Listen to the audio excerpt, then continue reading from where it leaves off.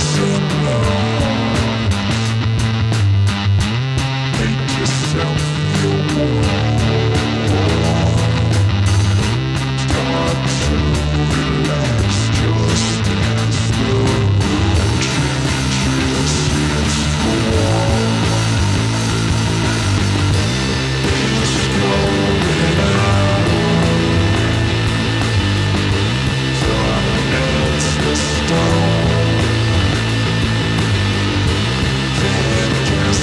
Christmas.